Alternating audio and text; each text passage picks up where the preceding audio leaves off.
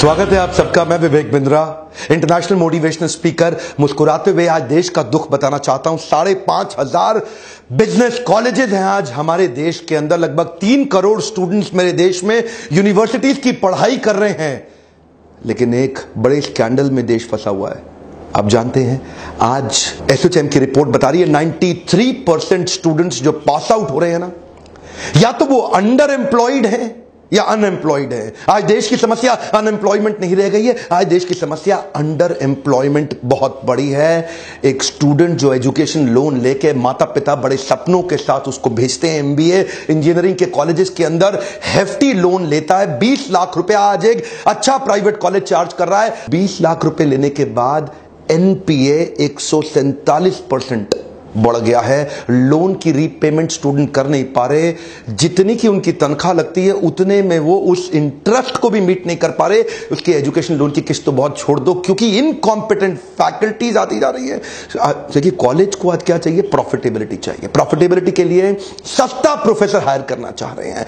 मैं कई सारे कॉलेजेस में गया, मुझे स्टूडेंट आकर के मिलते हैं। मैं हैरान हो गया देख करके।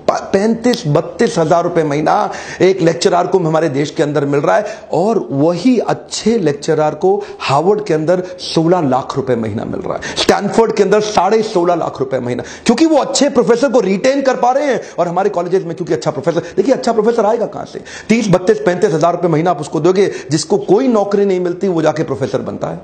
प्रॉब्लम क्या है? हमारे देश के अंदर 25, 26, 28, 30 साल तक चाहते हैं कि आप शादी होकर नौकरी करके सेटल हो जाएँ। आज अगर आपको प्रोफेसर बनना है पीएचडी करनी पड़ेगी। पाँच सात आठ एक्स्ट्रा साल लग जाते हैं एक आदमी को पीएचडी करने में। उसकी उम्र तीस बत्तीस साल हो जाती है जब तक वो किसी कॉलेज में जाके प्रोफेसर लगता है।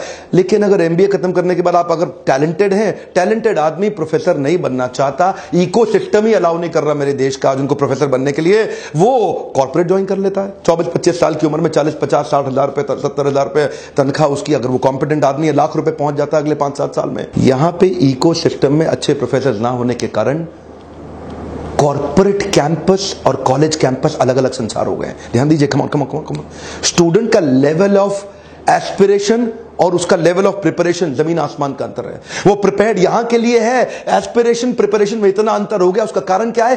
कॉलेज कैंपस अलग ही संसार है कॉर्पोरेट कैंपस अलग ही संसार है। इंडस्ट्री रेडी स्टूडेंट दे नहीं पा रहे। आज महारत्ना, नवरत्ना पीएसयू हमारे देश के अंदर, उन्होंने 28 परसेंट नौकरी न्यू जॉब हायरिंग कम कर दी, क्योंकि लीन मैनेजमेंट स्ट्रक्चर ले रहे हैं। ऑटोमेशन आता जा रहा है आर्टिफिशियल इंटेलिजेंस बढ़ता जा रहा है लीन मैनेजमेंट प्रोसेसेस बढ़ते जा रहे हैं जॉब्स कम हो रही हैं, और जितनी जिस रेट पे आज देश की इकोनॉमी ग्रो कर रही है, उससे कहीं ज़्यादा रेट पे देश में इंजीनियर्स प्रोड्यूस हो रहे हैं। वो इंजीनियर्स कंज्यूम नहीं हो पा रहे। पिछले कुछ सालों में 70 परसेंट एमबीए एनरोलमेंट बढ़ा है।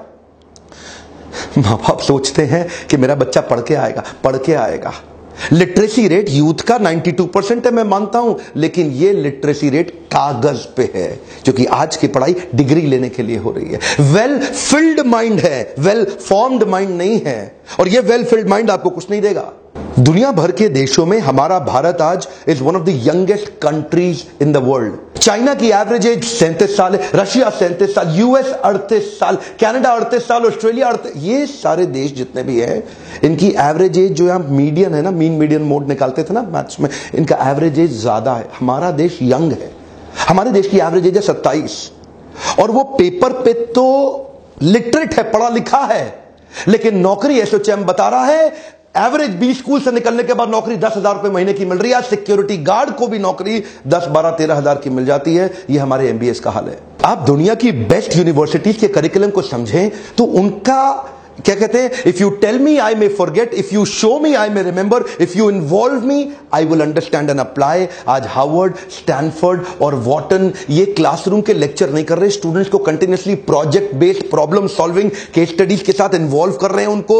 ऐसी सिचुएशन देते हैं जिससे कॉर्पोरेट में जब जाकर के स्टूडेंट ज्वाइन करेगा, वो किसी भी प्रॉब्लम को सॉल्व करने लायक बन जाए. तो ऐसा नहीं है कि क्लासरूम में खाली लेक्चर होता रहे. फैकल्टी एक्साइटिंग इतनी है. तो स्टूडेंट में एक्साइटमेंट आ जाता है प्रोजेक्ट करने के लिए। हमारे देश की फैकल्टी अब अट्ठाईस हज़ार रुपए महीने वाला पीएचडी प्रोफेसर कहाँ से एक्साइटमेंट आएगा उसके अंदर? अब उसमें एक्साइटमेंट नहीं है स्टूडेंट में नहीं है। स्टूडेंट क्लास अटेंड नहीं करना चाहता बंक मारना चाहता है, वो उसको बचाने के लिए पचहत्तर परसेंट का अटेंडेंस का सिस्टम रख देते हैं डी बार कर देंगे। अब उसका मोटिवेशन पढ़ाई नहीं है पिछहत्तर परसेंट की अटेंडेंस है। अब वो पचहत्तर परसेंट की अटेंडेंस के लिए आता है और बैठा रहता है ऐसे। अब उसको कोई अगर बाई चांस एक आधा प्रोजेक्ट दे भी दिया केस स्टडी करने के लिए साल, दो साल के अंदर, या साल में दो तीन दे भी दिए तो वो जाता है दिल्ली में बेट सराय है, वहाँ जाता है, ढूंढता है, बहुत सारे प्रोजेक्ट पड़े हुए हैं हज़ार रुपए देता है प्रोजेक्ट खरीद के लिए आता है जाके, और जाके जमा कर देता है। ये हाल है देश में। हार्वर्ड 80 परसेंट केस स्टडी पे काम करता है 10 परसेंट प्रोजेक्ट पे और केवल पाँच परसेंट लेक्चर दे रहा है। स्टैनफोर्ड में फोर्टी परसेंट केस स्टडी है, पच्चीस परसेंट प्रोजेक्ट है, लेक्चर वहाँ भी बीसी परसेंट है। वॉटन में फोर्टी परसेंट केस स्टडी, पच्चीस परसेंट प्रोजेक्ट, लेक्चर वहाँ भी बीसी परसेंट है। एक रिसर्च में पता चला, अड़तीस से अट्ठावन percent students summer internship actual practice करते नहीं फेक प्रोजेक्ट लेके आते हैं और कॉलेज क्रॉस वेरिफिकेशन करता नहीं है। Incompetent faculties teaching with conventional theoretical classroom based approach असर क्या हो रहा है? आज कॉर्पोरेट क्या चाहता है? कॉर्पोरेट चाहता है एक आदमी हायर करूँ, पाँच आदमी का काम कर ले और हमारे जो बच्चे प्रोड्यूस हो रहे हैं, वो पाँच आदमी हायर करो, एक का काम नहीं कर पाता, उसका स्किल डेफिसिट इतना बड़ा है कि on scale of one two ten MBA engineering के बाद उसका स्किल डेढ़ भी नहीं है not even 1.5 out of 10 RBI के फिगर के हिसाब से पिछले साल बीस हज़ार करोड़ का लोन बांटा गया एजुकेशन लोन स्टूडेंट्स को पढ़ने के लिए। 700 बिलियन आईएनआर का लोन पेमेंट अभी भी टोटल आउटस्टैंडिंग बचा हुआ है। 142 परसेंट इंक्रीज हो रहा है। एनपीए में स्टूडेंट कहाँ से पैसा देगा? कहाँ से पैसा देगा? एक्चुअली ये पूरा प्रॉब्लम इसलिए हो रहा है क्योंकि कॉर्पोरेट्स को इंटरव्यू के टाइम पे एमबीए का डिग्री चाहिए। अब क्योंकि एमबीए का डिग्री उनके लिए one of the qualification criteria बन गया, इतने सारे धंधे खुल गए स्कूल कॉलेज के। आओ भाई कॉलेज खोलो कॉलेज खोलो कॉलेज खोलो, हम भी डिग्री देंगे, हम भी डिग्री देंगे। आज पहली बार कॉर्पोरेट समझ रहे हैं कि टॉप आई की जो डिग्री है, वो तो काम की है। ये जो हल्के बी स्कूल है, इनकी डिग्री किसी काम की नहीं है। इस अच्छा आपके मन में आता होगा कि भाई ये टॉप आईएम्स इतना अच्छा कैसे चला लेते हैं? ये भी तो सरकारी बॉडीज हैं। देखिए, इन्होंने एक सिस्टम बनाया। आईआईएम के ब्रांड में ये प्रोफेसर को अच्छे फैकल्टी को रिटेन करने के लिए उसको कहते हैं, तेरी तनख्वाह कम है, मैं जानता हूँ। तू जाके प्राइवेट कंसल्टिंग कर ले। 50 परसेंट आईएम के ब्रांड को लेके कर ले, जो पैसा मिलेगा वो आईएम को दे देना। अब कॉलेज में एक प्रोफेसर को फ्रीडम मिल रहा है। उसको आईएम का ब्रांड मिल रहा है, उसको रिस्पेक्ट मिल रहा है, उसको बाहर जाके कंसल्टिंग करने के लिए फ्रीलांसिंग करने का अपॉर्चुनिटी मिल रहा है और आईएम में पढ़ा भी रहा है वो। इसीलिए वो आईएम में टिका हुआ है। अच्छा प्रोफेसर टिका हुआ है, नहीं तो वो इंटरनेशनल चला जाएगा। इंडिया में अच्छी फैकल्टी ना होने का खामियाजा जब सारे कॉर्पोरेट्स को भुगतना पड़ रहा था, हल्के स्टूडेंट्स को हायर करके तो पहली बार तीन, चार, पाँच कंपनीज़ ने इसको तोड़ा देश में हमारे। Google Ernst Apple Starbucks IBM bank of America ये कुछ कॉरपोरेट्स हैं जिन्होंने पहली बार बिना डिग्री देखे ट्राई कर रहे हैं अच्छे रिसर्च ओरिएंटेड स्टूडेंट्स को हायर करने के लिए। आप मुझसे पूछते हैं डॉक्टर बिंद्रा, आप क्या कर रहे हैं? मेरा काम क्या है? आपको ऐसी free online learning university YouTube पे केस स्टडीज़ देना, जो कि प्रॉब्लम बेस्ड लर्निंग अप्रोच दे रहा है। कॉर्पोरेट कैंपस कॉलेज कैंपस संसार अलग है। मैं इनको एक करना चाहता हूँ। हमारे छोटे छोटे बिजनेसमैन को हम देश में एक बिज़नेस आर्मी के रूप में तैयार करना चाहते हैं। किसी भी कठिन बिज़नेस सिनेरियो को हैंडल करने के लिए उनको केस स्टडी देना चाहते हैं कि वो केस स्टडी समझ के उनको कोई भी प्रॉब्लम आ जाए, अब वो उसको हैंडल कर लें। इस प्रकार की केस स्टडी से उनकी जो लर्निंग है, वो रिटेंशन बढ़ जाता है।